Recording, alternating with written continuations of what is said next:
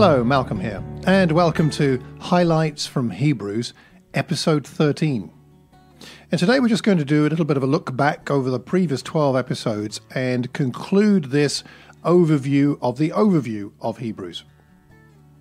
Later on, we will be going through the book of Hebrews chapter by chapter, both in our Friday teaching, our Sunday preaching, and in these mini podcast episodes.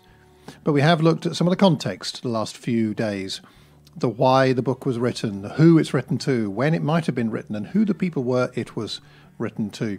We've talked about Jesus as being superior as a person and bringing a superior covenant. We've talked about his humanity blended with his deity. We've talked about the expressions of love offered by the writer to the Hebrews, his exhortations and warnings, his encouragements and examples, and the applications he makes so that they know how to put into practice what he's been telling them theologically. We've talked about family responsibilities, about the fact that we have a priesthood for all, and that leaders must follow, leaders must lead with faith, and followers must follow with a desire to make leaders' lives a joy. This is just a, I mean, this is scratching the surface of Hebrews, of course, and we will go into more detail, but isn't it amazing how much there is in this incredible book? We've got an amazing Jesus, and we've got an amazing book to look into. So far, what have you found that's most useful? Did you do the sit down and read through the book of Hebrews in one go? Have you tried that? If you didn't, then give that a go. Have you scanned through the book to find its themes and threads for yourself, not just what you might read in a booklet?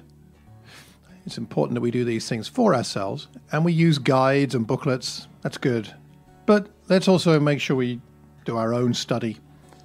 That way, when it's our own, it tends to stick better. Have you had any thoughts so far about what you're learning most from the book of Hebrews? Perhaps leave a note, leave a comment wherever you hear this recording, because I'd find it interesting to, to know what you're discovering, and I'm sure other people would too. Well, until the next one, we'll finish, as we always do, with these verses from chapter 13, verses 20 and 21. Now may the God of peace, who through the blood of the eternal covenant brought back from the dead our Lord Jesus, that great shepherd of the sheep, equip you with everything good for doing his will. And may he work in us what is pleasing to him, through Jesus Christ, to whom be glory for ever and ever. Amen.